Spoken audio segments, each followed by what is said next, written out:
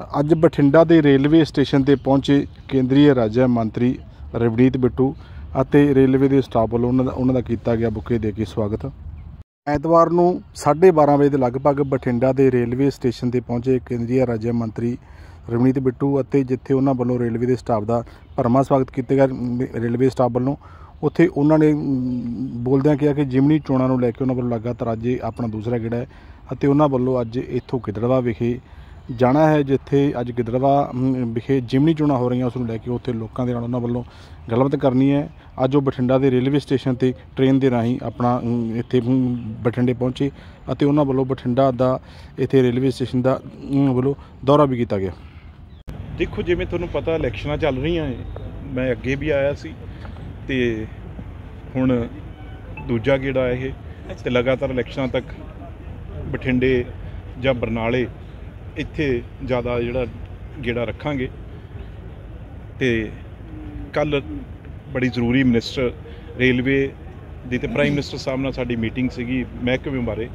ਬੜੀ ਡਿਟੇਲ ਇਹਦੇ ਬਾਰੇ ਗੱਲਾਂ ਹੋਈਆਂ ਵੀ ਕਿਵੇਂ ਅੱਗੇ ਟ੍ਰੇਨਾਂ ਹੈ ਜਿਹੜੀਆਂ ਰਿਲੀਜੀਅਸ ਟੂਰਿਜ਼ਮ ਲਈ, ਤਖਤਾਂ ਦੇ ਲਈ ਕਿਵੇਂ ਚਲਾਉਣੀਆਂ ਵੀ ਸਾਰੇ ਤਖਤ ਉਹ ਕਵਰ ਹੋ ਸਕਣ। ਉਹਦੇ ਬਾਰੇ ਬੜਾ ਪ੍ਰਾਈਮ ਮਿਨਿਸਟਰ ਸਾਹਿਬ ਨੇ ਆਪ ਗੱਲ ਕਹੀ ਤੇ ਉਹਨਾਂ ਨੇ ਇਹ ਵੀ ਗੱਲ ਕਹੀ ਜੇ ਰਿਲੀਜੀਅਸ ਟੂਰਿਜ਼ਮ ਆ, ਤੇ ਨਾਲ ਉਹਦਾ ਨਾਂ, ਜਦੋਂ ਤੁਸੀਂ ਉਹ ਟ੍ਰੇਨ ਨੂੰ ਨਾਂ ਦਿੰਦੇ ਹੋ, ਜਿਵੇਂ ਚਾਰ ਧਾਮ ਆ, ਉਸ ਤਰੀਕੇ ਨਾਲ ਇੱਕ ਉਸ ਟ੍ਰੇਨਾਂ ਦਾ ਨਾਂ ਵੀ ਐਸਾ ਹੋਣਾ ਚਾਹੀਦਾ ਜਿਹੜਾ ਵਾਕਈ ਕਿਉਂਕਿ ਲੋਕ ਦਰਸ਼ਨ ਕਰਨ ਲਈ ਜਾ ਰਹੇ ਆ, ਤੇ ਉਹ ਨਾਂ ਵੀ ਐਸਾ ਹੋਵੇ ਜਿਹੜਾ ਕਿ ਬੜਾ ਗੁਰੂ ਨਾਲ ਬਾਣੀ ਨਾਲ ਜੋੜਨ ਵਾਲਾ ਨਾਂ ਹੋਵੇ, ਇਹਦੇ ਉੱਤੇ ਉਹਨਾਂ ਨੇ ਗੱਲਾਂ ਕੀਤੀਆਂ, ਤੇ ਹੋਰ ਕੀ ਕੀ ਕਿਹੜੇ ਕਿਹੜੇ ਸਟੇਸ਼ਨ ਬਣ ਰਹੇ ਆ, ਕਿਹੜੇ ਕਿਹੜੇ ਅੱਗੇ ਟਰੈਕ ਬਣ ਰਹੇ ਆ?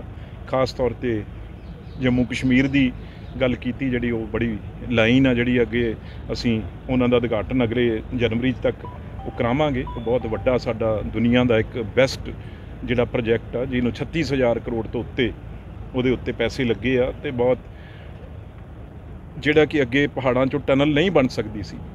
ਅੱਜ ਉਹ ਟਨਲ ਬਣ ਰਹੀਆਂ ਏ ਇਸੇ ਤਰੀਕੇ ਨਾਲ ਅਸੀਂ ਕੇਦਾਰਨਾਥ ਤੱਕ, ਜਿਹੜਾ ਸਾਡਾ ਉੱਤਰਾਖੰਡ ਆ, ਉੱਥੇ ਅਸੀਂ ਤਕਰੀਬਨ 100 ਕਿਲੋਮੀਟਰ ਤੋਂ ਉੱਤੇ ਜਿਹੜਾ ਉਹਦਾ ਸਫ਼ਰ ਆ, ਉਹ ਟਨਲ ਦੇ ਰਾਹੀਂ ਆ, ਦੇਖੋ। ਇਹ ਇਹ ਇੱਕ ਤਰ੍ਹਾਂ ਦੇ ਅਜੂਬੇ ਆ ਜਿਹੜੇ ਇਹ ਰੇਲਵੇ ਮਹਿਕਮੇ 'ਚ ਹੋ ਰਹੇ ਆ। ਤੇ ਇੱਕ ਪ੍ਰਾਈਮ ਮਿਨਿਸਟਰ ਸਾਹਿਬ ਨੇ ਹੋਰ ਫੋਕਸ ਬੜਾ ਦਿੱਤਾ ਵੀ ਜਿਹੜਾ ਟਨਲ ਬਣਦੀ ਆ ਉਹ ਕਿਉਂ ਨਾ ਰੇਲਵੇ ਤੇ ਹਾਈਵੇ ਦੋਨੋਂ ਯੂਜ਼ ਕਰਨ। ਉਹ ਬਾਰੋ-ਬਾਰੀ ਪੈਸੇ ਲਾਉਣੇ, ਦੁੱਗਣੇ ਲੱਗਦੇ ਆ, ਤੇ ਜੇ ਦੋਨੋਂ ਹੀ ਹਾਈਵੇ ਵਾਲੇ ਵੀ ਤੇ ਰੇਲਵੇ ਵਾਲੇ ਵੀ। ਉਹ ਟਨਲ ਜਿਹੜੀਆਂ ਇੰਨੀਆਂ ਮਹਿੰਗੀਆਂ ਮਹਿੰਗੀਆਂ ਬਣਦੀਆਂ ਦੋਨੋਂ ਮਹਿਕਮੇ ਇਕੱਠੇ ਹੋ ਕੇ ਇਹਨੂੰ ਯੂਜ਼ ਕਰਨ। ਤੇ ਹੋਰ ਬੜੀਆਂ ਪ੍ਰਾਪਰਟੀਆਂ ਜਿਹੜੀਆਂ ਪਈਆਂ ਰੇਲਵੇ ਦੀਆਂ ਉਹਦੇ ਵਿੱਚ ਉਹਨੂੰ ਕਿਵੇਂ ਚੰਗੇ ਢੰਗ ਨਾਲ ਯੂਜ਼ ਕੀਤਾ ਜਾ ਸਕਦਾ। ਜਿਵੇਂ ਪੰਜਾਬ ਆ ਗਡਾਊਨਾਂ ਦੀ ਲੋੜ ਪਈ। ਕਿੰਨੇ ਵੱਡੇ ਗਦਾਮ ਆ ਜਿਹੜੇ ਸਾਡੀਆਂ ਜ਼ਮੀਨਾਂ ਤੇ ਬਣ ਸਕਦੇ ਰੇਲਵੇ ਦੀ ਤੇ ਇਹਦੇ ਵੱਲੇ ਉਹਨਾਂ ਨੇ ਕਿਹਾ ਵੀ ਕੰਮ ਕਰੋ। ਸਾਰੇ ਬਠਿੰਡਾ ਦੀ ਗੱਲ ਕਰ ਰਹੇ ਨੇ ਬਠਿੰਡੇ ਦਾ ਰੇਲਵੇ ਸਟੇਸ਼ਨ ਏਸ਼ੀਆ ਦਾ ਦੂਸਰੇ ਨੰਬਰ ਤੇ ਹੈ ਜੀ। ਇਹ ਕਾਫੀ ਓਪਨ ਹੈਗਾ ਇਸ ਦੇ ਬਾਰੇ ਕੋਈ ਮੈਂ ਹੁਣੀ ਸਾਡੇ ਸਟੇਸ਼ਨ ਸਟੇਸ਼ਨ ਮਾਸਟਰ ਸਾਹਿਬ ਤੇ ਅਫਸਰ ਸਵਾਰਾਂ ਨਾਲ ਗੱਲ ਕਰ ਰਿਹਾ ਸੀ। ਮੈਨੂੰ ਦੱਸਿਆ ਵੀ ਇਹ 90 ਟ੍ਰੇਨ ਤੋਂ ਉੱਤੇ ਜਿਹੜੀਆਂ ਇੱਥੇ ਆਉਂਦੀਆਂ 30 ਟ੍ਰੇਨਸ ਨੇ ਜਿਹੜੀਆਂ ਉਹ ਮਾਲ ਭਾੜਾ ਗੁੱਡਸ ਟ੍ਰੇਨ ਆਉਂਦੀਆਂ ਨੇ।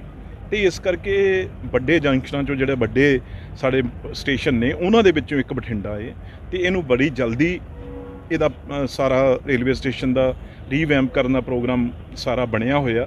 ਤੇ ਮੈਂ ਸਮਝਦਾ ਇਹਨੂੰ ਜਲਦੀ ਤੋਂ ਜਲਦੀ ਇਹਨੂੰ ਸ਼ੁਰੂ ਕਰਾਂਗੇ, ਤੇ ਇਹਦਾ ਚੰਗਾ ਸ਼ਹਿਰ ਨੂੰ ਉਪਯੋਗ ਹੋ ਸਕੇ, ਜਿਹਦੇ ਨਾਲ ਅੱਜ ਕੱਲ ਇਹ ਮੇਨ ਸ਼ਹਿਰ 'ਚ ਬਣੇ ਹੁੰਦੇ ਆ। ਤੇ ਇੱਥੇ ਲੋਕਾਂ ਦੇ ਲਈ ਮਾਲ ਵਰਗੀ ਸਹੂਲਤ ਆ ਜਿਹੜੀ ਉਹ ਵੀ ਹੋਵੇ, ਤੇ ਉਹ ਚੰਗਾ, ਇਹ ਇਹ ਨਹੀਂ ਕੱਲਾ ਸਵਾਰੀਆਂ ਆਉਣ ਕੱਲਾ ਇਹ ਮੁਸਾਫਰ ਪੈਸੇਂਜਰ ਨਾ ਚੜਨ ਵਾਲਾ ਆਵੇ ਹੋਰ ਵੀ ਇੱਕ ਐਸੀ ਇਹ ਜਗ੍ਹਾ ਬਣੇ ਜਿਹਨੂੰ ਸਾਰਾ ਸ਼ਹਿਰ ਆ ਕੇ ਇੱਕ ਪਿਕਨਿਕ ਦੇ ਤੌਰ ਤੇ ਇੱਕ ਮਾਰਕੀਟ ਦੇ ਤੌਰ ਤੇ ਇੱਕ ਮਾਲ ਦੀ ਤਰ੍ਹਾਂ ਤੇ ਉਹਨੂੰ ਯੂਜ਼ ਕਰ ਸਕੇ। ਉਸ ਪਾਸੇ ਨੂੰ ਅਸੀਂ ਤੁਰ ਰਹੇ ਹਾਂ ਵੀ ਸਾਡਾ ਕਮਾਈ ਦਾ ਸਾਧਨ ਆ ਜਿਹੜਾ ਉਹ ਵੀ ਇਹ ਜਗ੍ਹਾ ਤੋਂ ਹੋਵੇ। ਬਿੱਟੂ ਜੀ ਜਿਮਨੀ ਚੋਣਾਂ ਕੀ ਲੱਗਦਾ ਤੁਹਾਨੂੰ ਪੰਜਾਬ 'ਚ ਭਾਜਪਾ ਜਿੱਤ ਪ੍ਰਾਪਤ ਕਰੇਗੀ ਜਿਮਨੀ ਚੋਣਾਂ 'ਚ? ਦੇਖੋ ਇੱਕ ਗੱਲ ਨੂੰ ਸਮਝੋ।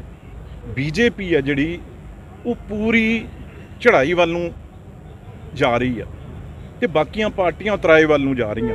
ਇਹ ਮੈਂ ਤੁਹਾਨੂੰ ਇੰਨਾ ਕਹਿ ਸਕਦਾ, ਨਾਲ ਹਰਿਆਣੇ ਦੇ ਰਿਜ਼ਲਟ ਨੇ, ਬਹੁਤ ਬੜੀ ਚੇਂਜ ਆ ਜਿਹੜੀ ਉਹ ਪੰਜਾਬ 'ਚ ਲਿਆਤੀ। ਤੇ ਤੀਜੀ ਵਾਰ ਮੋਦੀ ਸਾਹਿਬ ਦੀ ਸਰਕਾਰ ਬਣਨ ਲਈ ਲੋਕਾਂ ਨੂੰ ਇਹ ਗੱਲ ਪਤਾ ਹੋ ਲੱਗਿਆ ਵੀ ਜੇ ਕੁਝ ਕਰਨਾ, ਜੇ ਕੁਝ ਪੰਜਾਬ ਦੇ ਪੱਲੇ ਪਾਉਣਾ, ਤਾਂ ਇੱਕ ਬੀਜੇਪੀ ਦੀ ਸਰਕਾਰ ਆ। ਬਾਕੀ ਤਾਂ ਜੇ ਜੇ ਪਿੱਛੇ ਰਹਿ ਜਾਣਾ, ਜੇ ਆ ਹਾਲਾਤ ਜੋ ਹੋਏ ਆ ਮੰਡੀਆਂ ਦੇ, ਜੋ ਹਾਲਾਤ ਕਿਸਾਨ ਦਾ ਆੜਤੀਆਂ ਦਾ, ਮਜ਼ਦੂਰਾਂ ਦਾ ਟਰਾਂਸਪੋਰਟਰਾਂ ਦਾ, ਜੇ ਤਾਂ ਇਹ ਬੇਕਾਰ ਜਿਹੜੀ ਸਰਕਾਰ ਆਈ ਆ, ਜਿਹਨੂੰ ਪਤਾ ਹੀ ਨਹੀਂ ਕੰਮ ਕਿਵੇਂ ਕਰਨਾ। ਮਤਲਬ ਮੈਂ ਸਮਝਦਾ, ਇਹ ਇਹ ਜਵਾਕਾਂ ਦੀ ਖੇਡ ਆ। ਅੱਜ ਅੱਜ ਪਤਾ ਹੀ ਨਹੀਂ ਕਿੱਥੇ ਨੇ ਮੰਤਰੀ, ਕਿੱਥੇ ਨੇ ਮੁੱਖ ਮੰਤਰੀ, ਕਿੱਥੇ ਨੇ ਇਹਨਾਂ ਦੇ ਦਿੱਲੀ ਦੇ ਲੀਡਰ ਕਿਸੇ ਮੰਡੀ 'ਚ ਗਾਇਬ ਨੇ। ਤੇ ਇਸ ਕਰਕੇ ਲੋਕ ਸਮਝੇ ਆ ਵੀ ਇਹ ਇੱਕ ਤਾਂ ਇੱਕ ਤਾਂ ਉਂ ਕਮਲੇ ਨੇ, ਇੱਕ ਰਾਹ ਸਿਵਿਆਂ ਦੇ ਪੈ ਗਏ। ਉਹ ਗੱਲ ਆ ਵੀ ਇਸ ਵੇਲੇ ਤਾਂ ਕਿਵੇਂ ਇਹਨੂੰ ਬਚਾ ਕੇ, ਜਿਵੇਂ ਬਾਕੀ ਸਟੇਟਾਂ ਤਰੱਕੀਆਂ ਕਰ ਰਹੀਆਂ। ਬਾਕੀ ਮੁਲਕ ਤਰੱਕੀ ਕਰ ਰਹੇ ਆ। ਉਹ ਬੀਜੇਪੀ ਦੇ ਰਾਹ 'ਚ ਹੋ ਸਕਦਾ। ਡਬਲ ਇੰਜਨਾਂ ਟ੍ਰੇਨਾਂ ਖੜੀਆਂ। ਜੇ ਇਹਨੂੰ ਇੱਕ ਇੱਕ ਇੱਕ ਇੰਜਨ ਦੀ ਬਜਾਏ ਦੋ ਇੰਜਨ ਲੱਗ ਜਾਣਗੇ, ਉਹ 'ਚ ਜਾਨ ਆਊ ਕਿ ਨਹੀਂ? ਇੱਥੇ ਤਾਂ ਸਾਲਾ ਇੱਕ ਇੰਜਨ ਆ ਜਿਹੜਾ। ਉਹ ਵੀ ਨਾ ਉਹਦੇ ਡੀਜ਼ਲ ਪੈਂਦਾ, ਨਾ ਉਹਤੇ ਪੈਟਰੋਲ ਪੈਂਦਾ। ਬਿਜਲੀਆਂ, ਤਾਰਾਂ, ਤੂਰਾਂ ਦਾ ਸਪਾਰਕ ਕਰਕੇ ਉਹਦੀਆਂ ਕੱਲੀਆਂ ਕੱਦੀਆਂ ਟੁੱਟ ਗਈਆਂ। ਇਸ ਕਰਕੇ ਇਹ ਜ਼ਮਾਨੇ ਨੇ ਜਿਹੜੇ ਅੱਜ ਉਹ ਹਾਈ ਸਪੀਡ ਦੇ ਨੇ। ਅੱਜ ਜ਼ਮਾਨੇ ਆ ਜਿਹੜਾ ਯੁੱਗ ਆ, ਉਹ 160 ਸਪੀਡ ਤੇ ਚੱਲਣ ਵਾਲੀਆਂ ਟ੍ਰੇਨਾਂ ਆ ਰਹੀਆਂ।